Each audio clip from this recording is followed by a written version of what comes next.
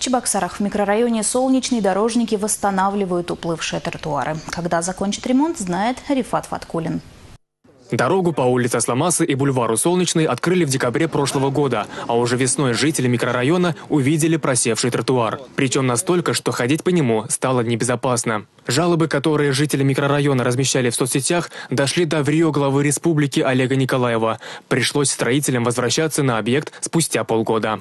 Подрядчики работали в сложное время. Здесь сложные условия были на перепаде высот больше 20 метров, а также на слиянии двух рек и вдоль русла рек, что усложняло работу.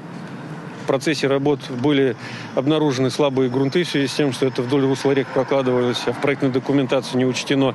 А также были обнаружены э, многие коммуникации, которые также не отражены в проекте «Родники».